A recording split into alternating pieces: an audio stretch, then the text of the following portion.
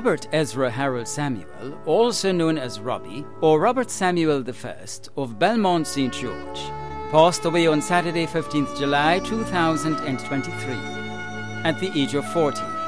He was the son of Charmaine Samuel and Harold Williams, husband of Rachel Samuel, father of Marcus and Makeda Samuel, brother of Harlan and Shania Williams, many aunts and uncles, including Vincent, Eric, and Betty, many other relatives and friends, including the Samuel, Dubiset, Williams, and Cox families, Roxanne Ned and family, Marigold and family, the Steele family of Carriacou, John Langine, Kim Regis, Kadeen Francis, Zeri David, Ryan Thomas, Lester Smith, Boydie, Bumpy and the rest of the lads of Little London, Kellen Bub and family, Alistair Charles and family, Pastor Crow and members of the New Life Fellowship Church, Pastor Gilbert and members of Springs Open Bible Church, the IDH group of Tam Sisi, the GBSS FC, and GBGSS Old Boys, and friends and neighbors of Belmont, Springs, and surrounding areas. The funeral of the late Robert Ezra Howard Samuel, also known as Robbie, or Robert Samuel I of Belmont St. George, will take place on Wednesday, August the 9th at 12.30 p.m. Funeral service will be held at the Springs Open Bible Church and interment will be at the Belmont Family Cemetery. Funeral arrangements entrusted to Bailey's Funeral Home. Samson Edwards, also known as Mr. Ben, parent Sams, and Daddy of Central Guava State St. John, passed away on Monday, 17th July, at the age of 94. He was the father of Euris, Rawl, and Judith Rawlins in Canada, Laurie in Guyana, and Paul and Andy in the USA. Adopted father of Dotica Elias, also known as Poon. Grandfather of 24, including Luan Jordan, Sharon Julian, Akita Antoine, Carvel, Chanel, Wendell, Jonathan, Raquel, and Sky Edwards.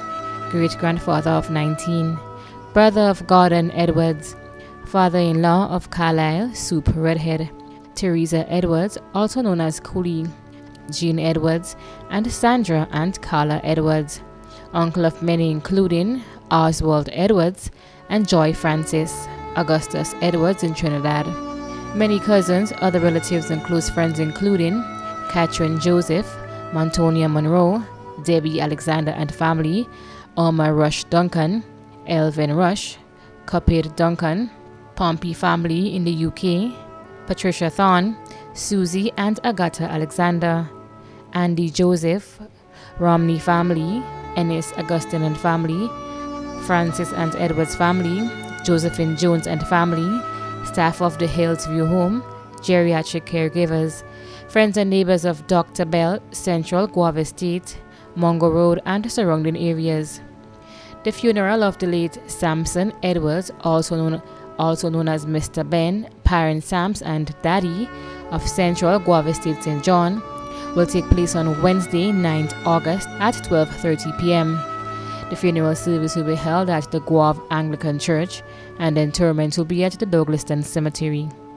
Funeral arrangements have been entrusted to Lockwood Brothers Funeral Home. Devon Brown, also known as Killet of Florida St. John, passed away on Friday, 21st July, at the age of 48. Left to mourn are his mother, Mary Harriman Garnett, stepfather, Cletus Garnett, brothers Vaughn Harriman, Delroy, and Marlon Brown, sisters Sharon Harriman and Nasha, nieces Shakina, Chantel, Miracle, Samika, Tamika, and Tashiba, nephews Aiden, Johan, Chris, Tarvel and Trevel, cousins Joylyn Harriman and Sherry and Howell, aunts Emmeline and Joyce Harriman and Linka Brown, uncles Evans, Steve and Michael Harriman, friends Andrea Dabrio and family and Raymond, grand aunt of Effie, Ruby, Louise and Ina, uncle of George. Other relatives and friends including Harriman, Henry, Brown, Chetram, and Jaldu families. The funeral of the late Devon Brown, also known as Skillet of Florida St. John, will take place on Thursday, 10th August at 2 p.m. The funeral service will be held at the Gouyave Seventh day Adventist Church, Gouyave St. John, and the interment will be at the Douglaston Cemetery. Funeral arrangements have been entrusted to Bailey's Funeral Home. Bridget Hannah Dora Edwards Campbell of River Sally, St. Mark, who resided in Laventille, Trinidad, passed away on Tuesday, 18th July, in Trinidad at the age of 73. She was a mother of Peter C. Edwards, Andy K. Edwards, and Albert I. R. Edwards. Adopted mother of Kerry Ruffin, sister of Denzel Ray, niece of Angelina Ferre, grandmother of Marcella, Brian, Ryan, Coslin, Cosnell, and Joshua Edwards, Akira, Darren, and Rashida Patrick in Canada, Ayub Joseph, and Zanika Simon, grandmother of Ronisha Granger, Ronnie Jr. Granger, Zia Edwards, Zion Edwards, Bronell Edwards, and Cameron Joseph, aunt of LaDiane O'Gees, Julie O'Gees, Lonnie O'Gees, Carlisle Vincent, Nigel Vincent, Neil Vincent, entire lineage of Denzel Ray, too numerous to mention. Mother in law of Lystra Edwards, sister in law of Norma Chetram. Other relatives, cousins, and close friends, including Kathleen Telesford and family, Edwards family of River Sally and Victoria, Aberdeen family of Victoria, Clovey and Ferry family of Victoria, Edith Paul of Fairfield, Elena Ruffin, Carol Maureen, Christine Charles, Winifred Sorali, Esther John, friends and neighbors of Trinidad, River Sally, and surrounding areas. The funeral service and interment of the late Bridget Hannah Dora Edwards Campbell of River Sally St. Mark, who resided in Laventille, Trinidad, will be held on Friday, 11th August, in Trinidad and Tobago. Funeral arrangements have been entrusted to Lacroix Brothers Funeral Home. When a loved one passes on, we all need the comfort, support, and guidance of a trusted friend. You can rely on Lacroix Brothers Funeral Home. We provide a personalized professional service that exceeds all expectations. Our dedicated staff responds to your every need with the greatest detail, ensuring affordability with a variety of options. Our upgraded state of the art facilities, spacious air conditioned chapel with live internet streaming a modern, environmentally safe crematorium, the only of its kind on island, private viewing spaces, large on-site repast center, a modern transportation fleet. Join our burial society today and make personalized arrangements for that final moment as you prepare to enter your loved one into eternal rest. Visit or call Lacroix Brothers Funeral Home and select a package that brings added comfort to the entire family. Lacroix Brothers Funeral Home and Burial Society, continuing a tradition of excellence.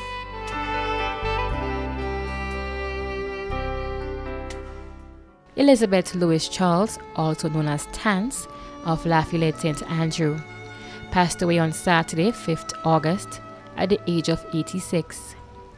The funeral of the late Elizabeth Lewis Charles, also known as Tance of Lafayette St. Andrew, will be given in a subsequent broadcast. Funeral arrangements have been entrusted to Lacroix Brothers Funeral Home.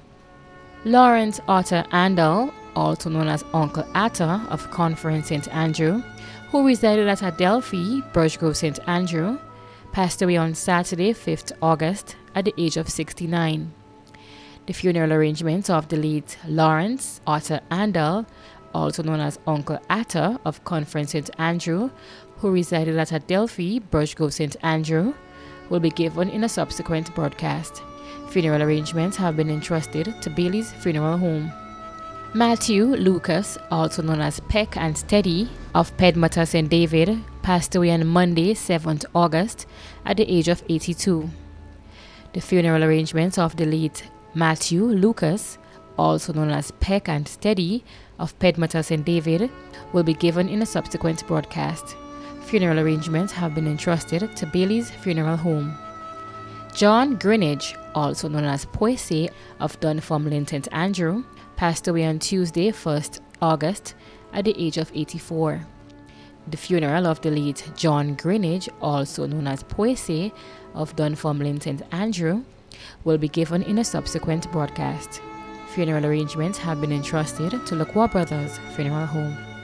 Louise Elizabeth Sylvester, née Paul, of Hill Have Eyes, Tempe St. George, passed away on Sunday, 6th August, at the age of 94. The funeral arrangements of the late Louise Elizabeth Sylvester, née Paul, of the Hills Have Eyes, Tempe St. George, will be given in a subsequent broadcast. Funeral arrangements have been entrusted to Bailey's Funeral Home. Christina Wilkinson, also known as Chriso and Christine, of Barat St. David, passed away on Wednesday, 2nd August 2023, at the age of 81. The funeral arrangements for the late Christina Wilkinson, also known as Chriso and Christine, of Barat St. David, will be given in a subsequent broadcast. Funeral arrangements entrusted to La Qua Brothers Funeral Home. Fabian Griffith, also known as Tony Griffith of Woodland St. George, passed away on Tuesday, 25th July 2023, at the age of 79. The funeral arrangements for the late Fabian Griffith, also known as Tony Griffith of Woodland St. George, will be given in a subsequent broadcast. Funeral arrangements entrusted to La Qua Brothers Funeral Home. Jocelyn Moses, also known as Dulcie and Mama, of Marley St. Patrick, who resided at Mount Plaisir St. John, passed away on Monday, 24th July 2023, at the age of 86. The funeral arrangements for the late Jocelyn Moses, also known as Dulcie and Mama, of Marley St. Patrick, who resided at Mount Plaisir St. John, will be given in a subsequent broadcast. Funeral arrangements entrusted to La Qua Brothers Funeral Home. Godfrey Winston Thorne of River Road St. George passed away on Saturday 29th July 2023 at the age of 82. The funeral arrangements for the late Godfrey Winston Thorne of River Road St. George will be given in a subsequent broadcast. Funeral arrangements entrusted to La Qua Brothers Funeral Home. David Aird of Lothers Lane, St. George, passed away on Thursday, 27th July 2023, at the age of 76. The funeral arrangements for the late David Ed of Lothers Lane, St. George, will be given in a subsequent broadcast. Funeral arrangements entrusted to La Qua Brothers Funeral Home. Roy Roland Bubb, also known as Vincy or Blacks, of La Poterie St. Andrew, died on Friday, 28 July, at the age of 51. The funeral arrangements of the late Roy Roland Bubb, also known as Vincy or Blacks of La Poterie St. Andrew, will be given in a subsequent broadcast. Funeral arrangements have been entrusted to Bailey's Funeral Home. Anne Marie Joseph, also known as Valerie Coutain and Val, of Frequente St. George, passed away on Thursday, 27th July 2023, at the age of 68. The funeral arrangements for the late Anne Marie Joseph, also known as Valerie Coutain and Val, of Frequente St. George, will be given in a subsequent broadcast. Funeral arrangements entrusted to La Qua Brothers Funeral Home. Melissa McIntyre of Palmist St. John died on Wednesday, 26th July 2023 at the age of 50. The funeral arrangements for the late Melissa McIntyre of Palmist St. John will be given in a subsequent broadcast. Funeral arrangements entrusted to Bailey's Funeral Home. Eileen Ross Tron of Laborie St. George passed away on Monday, 24th July, at the age of 81. The funeral of the late Eileen Ross Tron of Laborie St. George will be given in a subsequent broadcast. Funeral arrangements have been entrusted to La Qua Brothers Funeral Home. The management and staff of MTV extend deepest condolences to those of you whose loved ones have passed on. Thank you for watching.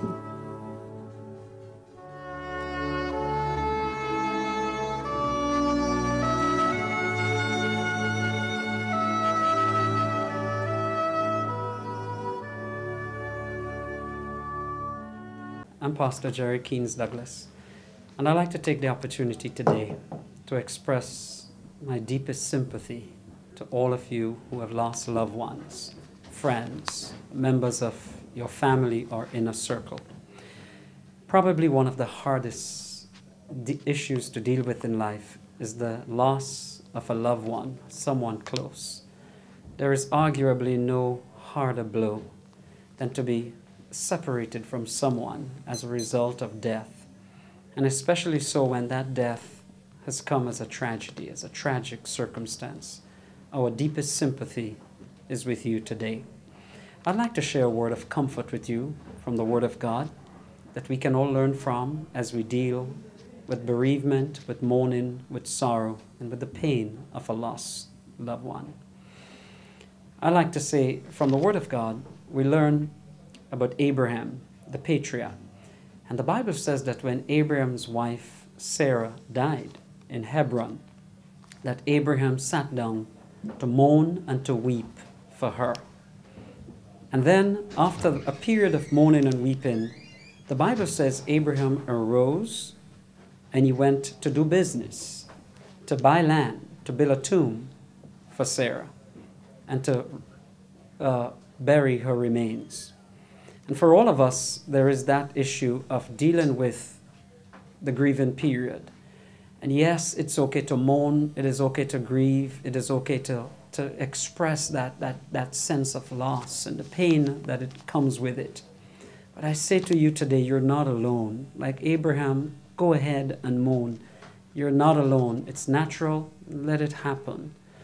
However, I also believe that by the grace of God, you're not alone in these times. So God says, and as you feel that pain, He says, Come to me, all ye that are, that are heavy laden, burdened and heavy laden, and I will give you rest. We need to come to Him and find a grace that goes beyond the casual comfort that people may give to us. Find support in God Himself.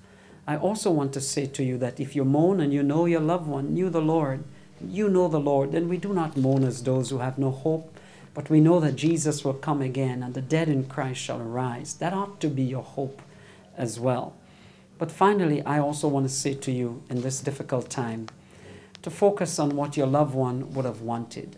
The Bible says Abraham rose up after his mourning, um, even during that, and he was able to get on with his life. And your loved ones would certainly want you to go through some grief and some mourning but also to be able to move on with your life and to do the things that they would want you to do, to be strong, to bounce out of your grief and to be able to carry on and to fulfill the rest of your life until the day comes when you or I would be inevitably moved out of here by the same process. So my prayers are with you, are with you today that God would help you and give you comfort and grace in this time of bereavement May the Lord bless you and help you and strengthen you in an amazing way. And as I close, I give you this wonderful promise from God's word. He says, Fear not, for I am with you. Be not dismayed, for I am your God. He says, I will strengthen you, I will help you, and I will support you with my mighty right hand. Isaiah 41:10. May God bless you.